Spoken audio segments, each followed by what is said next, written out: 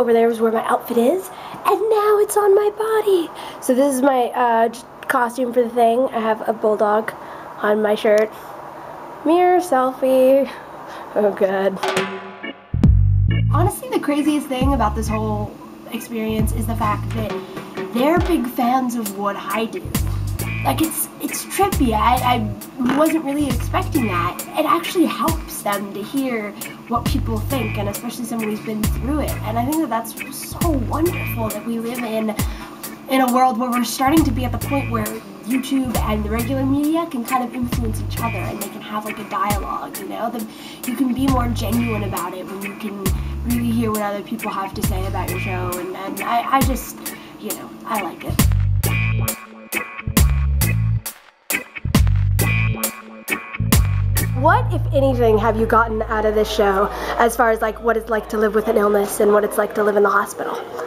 Uh, it's a very easy answer for me. I've grown as a man because I believe it is uh, awareness, something that I've been uh, now privy to, uh, spending all the time uh, in the hospitals with the kids and realizing um, you know, the sort of battle, battles and struggles that they're going through, but how strong they are and how they persevere. And it teaches me a lot as a man as I grow older and what I could teach my future children. Okay. I love it. Good job. Was that all right? Yes, that was perfect.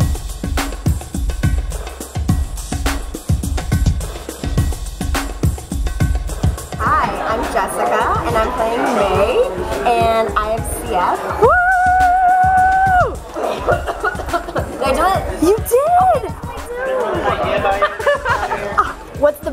The part about working on the show? Uh, the people. Every Oh. single person here is effing amazing. Have you learned anything that really stands out to you about like CF or about the, the It's my first sick world? medical show, so I learned about the wonderful inaccuracies of medical television.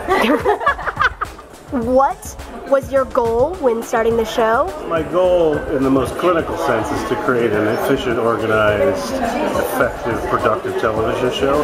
My, my more sort of poetic, esoteric goal was what I saw when I read the scripts was that the story of these group of kids in this hospital is really a story of survival and a story of affirming life and that the suffering and the pain and the journeys that they were going through were sort of allegories for what we all go through to some extent. And they're so heightened that we can apply any of our suffering because they're suffering so much worse. Right. So um, hopefully at the end of the day, was a positive, hopeful, life-affirming show. I love it. Kick ass.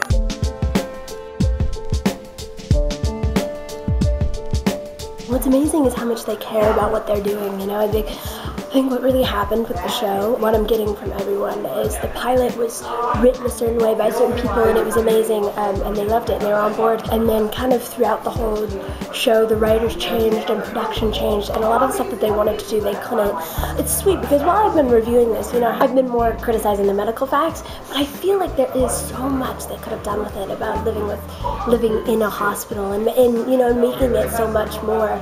And so, as much as I appreciate it, I love even more that they realize that too, you know, and all the actors who are on board get that what they're doing is important, and they're sad that they don't get to do everything that they wish they could and really make the show what they want it to be. And I really, I kind of feel for them there. And it's amazing how hard they try to make it accurate and to make it something worthwhile for people. And it's, it's sweet. It's kind of touching. It's like, it's like they're trying to create my world, you know?